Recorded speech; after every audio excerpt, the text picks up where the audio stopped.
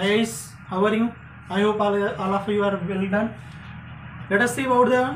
main part of dimension first part आपने देखा होगा फिजिक्स का फर्स्ट चैप्टर का हम लोग स्टार्टिंग फर्स्ट लेसन लेकर चल रहे हैं उसका फर्स्ट पार्ट मैंने डायमेंशन के बारे में डायमेंशन कैसे निकालते हैं उसके बारे में बताया but in this lesson we have find the use of dimension dimension use क्या देखिए पूरे फिजिक्स में सबसे इंपॉर्टेंट लेसन है क्योंकि हर टॉपिक का आपको डायमेंशन निकालने के लिए आएगा तो अगर आपको डायमेंशन का यूज पता होगा तो आप इसका बहुत ही सिंपली सी यूज अपने किसी भी लेसन में आप यूज कर सकते हैं किसी भी क्लास की फार्मूलेज की यूज ठीक है तो चलिए हम लोग देखते हैं usages of dimension that is first checking of equality कोई भी क्वेश्चन दिया गया उसको आप चेक कर सकते हैं दैट इज ट्रू और false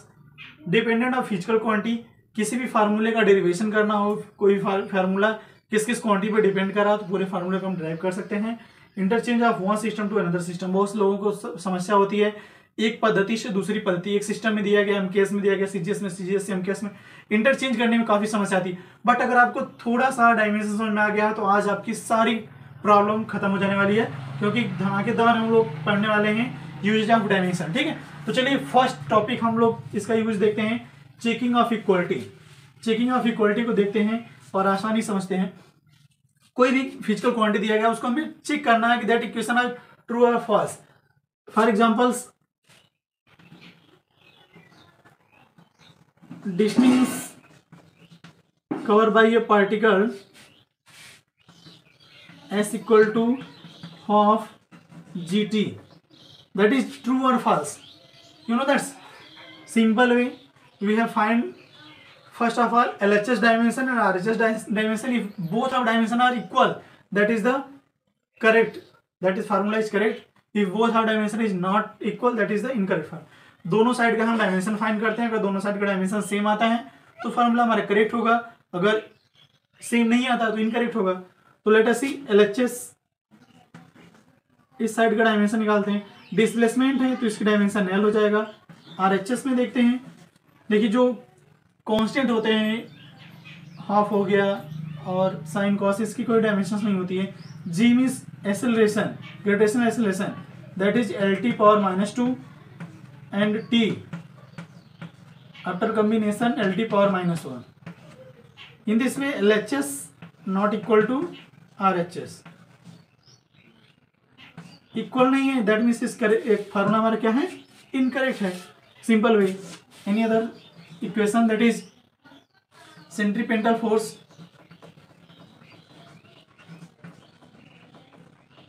F equal to M V square upon R centrifugal force F equal to M B square upon where M is mass V is velocity R is radius अब इस फार्मूले के हमें check करना है formula correct है incorrect है ठीक है तो simple way L H S left hand side की हम डायमेंशन फाइंड करते हैं फोर्स फोर्स की डायमेंशन क्या होता है M L T power minus two मैंने पिछली क्लास में निकाल कैसे की डायमेंशन फाइंड करते हैं अब निकाल सकते हैं ऐसे देख भी सकते हैं जैसे फोर्स इक्वल टू होता है मॉस इंटू एसोलेशन मॉस का that means M S L acceleration है टी पावर माइनस टू मैंने यहाँ बताया कि एसलेशन की डायमेंशन अगर आपको डायमेंशन नहीं पता हो तो पिछली वीडियो मैंने बनाया है कैसी वीडियो आप उसको डायमेंशन को फाइंड कर सकते हैं आप उसे जरूर देख लीजिएगा एल एच एस हो गया हमारा आर एच एस की डायमेंशन देखते हैं M that is mass V that means L T power minus one velocity का डायमेंशन होता है स्क्वायर स्क्वायर हो जाएगा upon radius as that is L M L square T की power minus two upon L one L cell cancel that is M L T की power minus two in this way we can see that L H S dimension and R H S dimension is equal to equal L H S equal to R H S that means that formula is correct and that formula is in correct okay any other long example और हम देख लेते हैं जैसे time period है T equal to two pi L upon G इसे check करना है कि फार्मूला करेक्ट है इनकरेक्ट ठीक इक्वेशन हमारा करेक्ट है इनकरेक्ट है तो टाइम पीरियड है एल एच एस का अगर हम देखें तो टाइम पीरियड टी हो जाएगा आवर्तकाल का आर एच एस की अगर हम डायमेंशन देखें तो टू पाई कॉन्स्टेंट है एल होगा और L T power minus two L से एल तो कैंसिल हो जाएगा ऊपर जाएगा टी स्क्वायर हो जाएगा L H S R H S not equal to so that formula is also incorrect तो जिसका दोनों साइड का डायमेंशन सेम आएगा फार्मूला हमारा करेक्ट होगा जो इसमें दोनों साइड का डायमेंशन सेम नहीं आएगा that is the incorrect this is a simple way uses of first dimension checking of equality कोई भी किसी भी क्लास का कोई भी फार्मूला हो गया कोई भी क्वेश्चन हो गया जो जिसमें आपको डाउट है कि यह सही है मतलब ट्रू है और false you can check with the help of dimension emission की हेल्प से आप उसको इजिली से चेक कर सकते हैं okay let us see second uses of dimension that is most important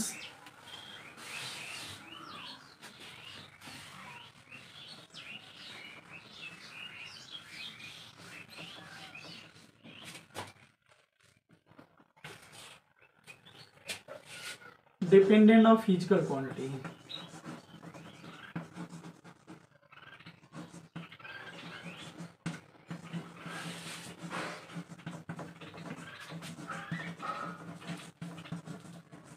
dependent on physical quantity कोई भी फार्मूला किसी क्वांटिटी किस किस क्वांटिटी पर डिपेंडेंट है तो आप उसको आसानी से समझ सकते हैं कि उसका फार्मूला क्या होगा एग्जाम्पल्स में जैसे मैं आपको बताऊं the centripetal force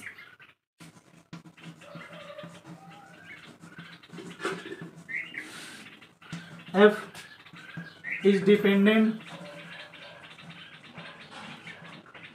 mass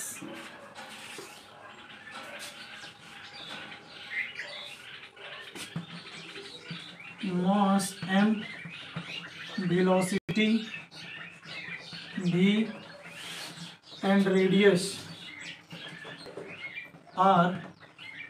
find formula of force with help of dimension ठीक है हमें फोर्स का सेंट्रीपेंटल फोर्स का फार्मूला फाइंड करना है देखिए इसमें आप क्वेश्चन आपको दिया हुआ ठीक है थोड़ा सा इजिली से we can understand this Sentry centripetal force that is F that is dependent of M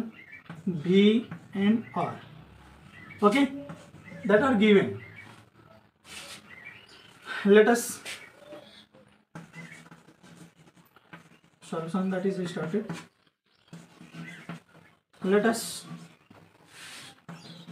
mass depend power of A velocity b and radius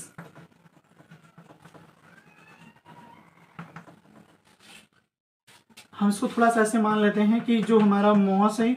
उसकी पावर ए पे velocity power B and radius power C पे depend करता है that is equation first any constant we can consider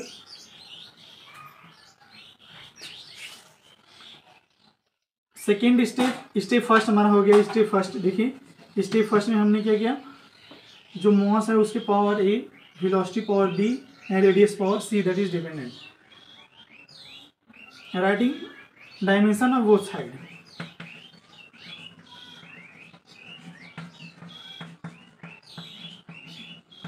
दोनों side का dimension लिख लीजिए force का M L T power minus two constant की डायमेंशन होता नहीं है एम मॉस का एम ही हो जाएगा पावर ए विलॉसिटी का L T power minus one power B है बी हो जाएगा रेडियस एल होगा डिस्टेंस होगा पावर सी पावर का अंदर मल्टीप्लाई कर लेते हैं तो यहाँ से हमें मिल जाएगा एम के पावर ए एल की power B T power minus B and L power C. L power B, L power C. Base अगर सेम है तो पावर क्या होता है ऐड हो जाता है that means M L power B plus C into T power minus B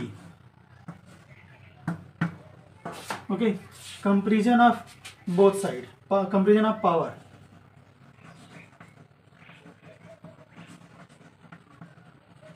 घातांक की हम कंपेरिजन कर लेते हैं देखिए M L T power minus two M के पावर ए है इधर एम के power one that means A equal to one L to power क्या है बी प्लस सी इस साइड क्या है वन एंड टी के power minus C equal to minus two C की वैल्यू अगर हम यहाँ पर रख देंगे तो क्या हो जाएगा b minus two equal to one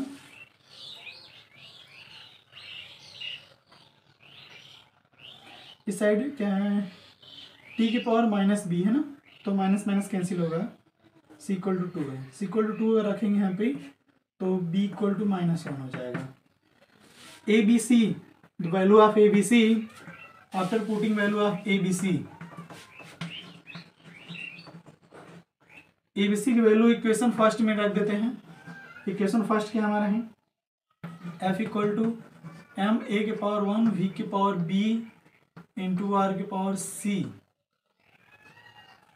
C equal to minus one यहाँ से हमने फाइंड किया है क्योंकि बी की वैल्यू टू रखेंगे तो two plus C C equal to minus one है यहाँ पे तो फाइन फार्मूला ऐसा हम फाइन कर सकते हैं M V square upon R that is the centripetal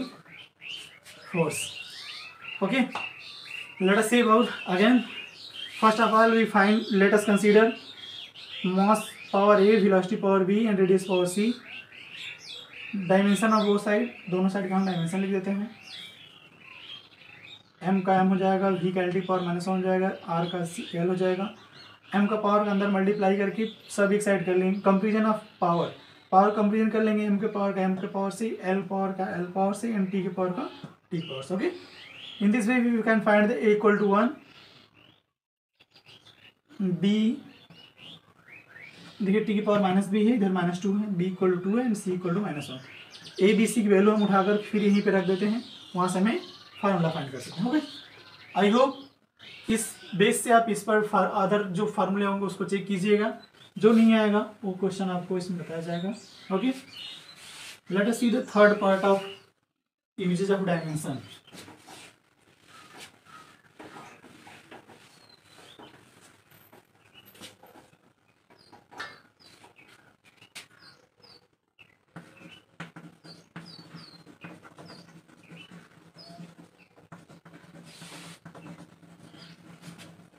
interchange one system to another system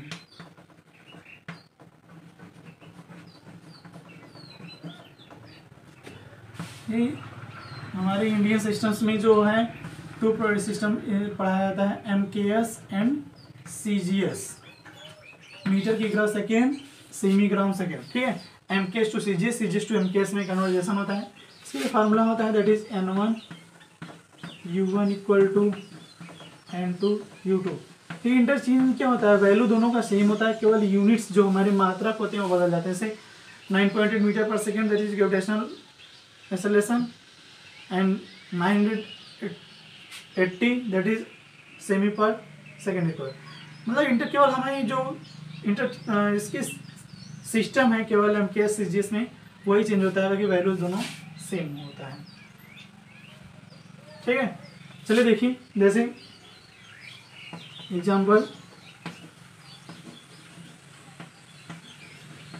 velocity of sound 322 meter per second interchange into km per hour with help of dimension so velocity of sound that is two metre per second इसको हमें change करना है किमी पर हावर किमी पर हावर में ठीक है तो देखिए first of all given that's N one in one system first system में हमारे जो न्यूमेरिकल वैल्यू है three hundred thirty two dimension of you can write this way Dimension of velocity LD⁻⁻1, that is u equal to. So we have find the value of n2. N2 equal to u1 upon u2. Okay. N1 equal to 332. U means LD⁻1. 1 that is 1 1 and u2 lt power minus 1 we can separate this l1 upon l2 t1 upon t2 l1 in first system that is meter and L2 that is the Kimi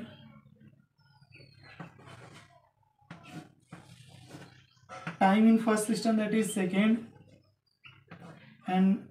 second system that is hour 332 we have changed meter किमी किमी को हमें meter में change करना क्या होगा one thousand होगा meter यहाँ देखिए सेकेंड में हावर में कितना जाएगा thirty six thirty sixty multiply sixty that is thirty six hundred second होगा पावर माइनस वन है तो ये कैंसिल हो जाएगा ये चेंज जाएगा हमारा three thirty two multiply upon hundred thousand two zero cancel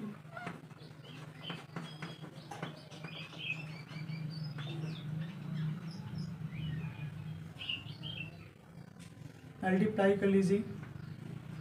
near about किमी per hour okay in this way we can use the very properly of use of dimension in our physical quantity I hope all video will be good for you.